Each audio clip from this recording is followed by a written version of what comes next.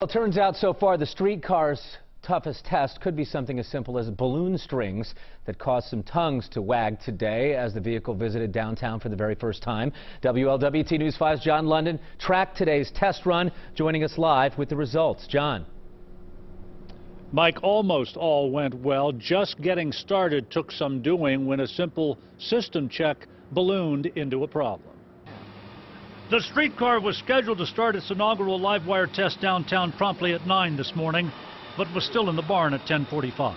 The strings of some kids' balloons, similar to the ones you see here, became closely acquainted with overhead wires, creating a spaghetti-like situation that had to be disentangled before anything could roll. This really was children with balloons this morning, but again, it does reemphasize that we have to keep that wire safe, we have to keep it clear so the streetcar can make contact with it.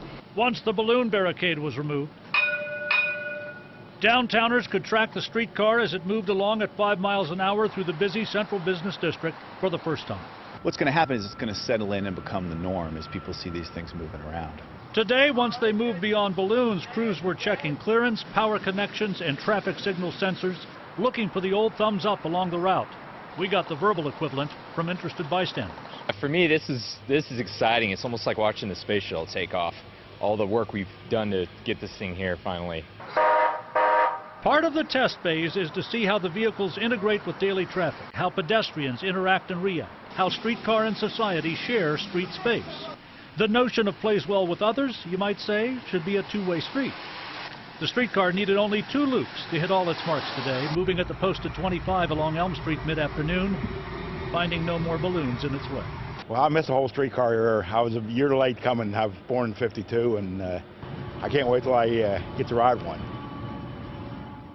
And the streetcar will travel the entire 3.6 mile route tomorrow, double the fun early next week. Both of the streetcars delivered so far will be out on the tracks, barring any balloon barriers. Reporting live in Over the Rhine, John London, WLWT News 5.